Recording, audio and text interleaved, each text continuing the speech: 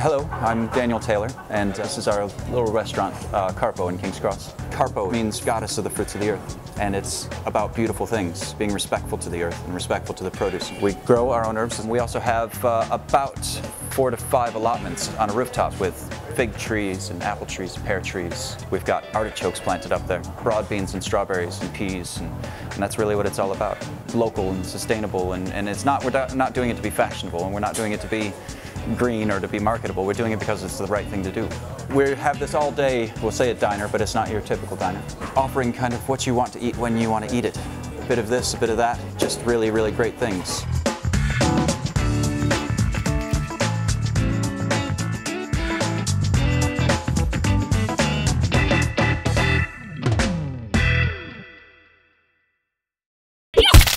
Whoa!